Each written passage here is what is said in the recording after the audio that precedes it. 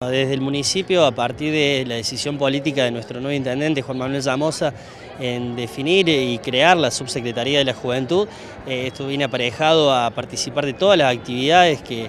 involucren a los jóvenes de todo tipo de edades, tanto a nivel secundario y en este caso a nivel eh, universitario, y justo en, el paso de una etapa a otra.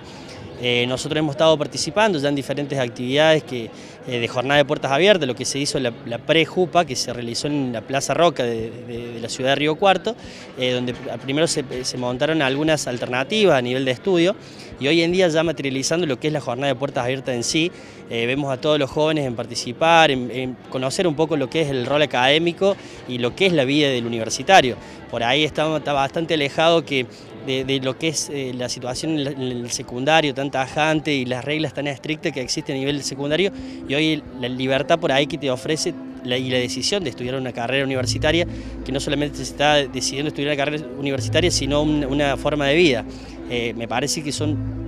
eh, muy, muy positivas todas estas, estas situaciones, como la jornada de, la, de puertas abiertas, para que ellos se materialicen un poquito más lo que es la vida universitaria.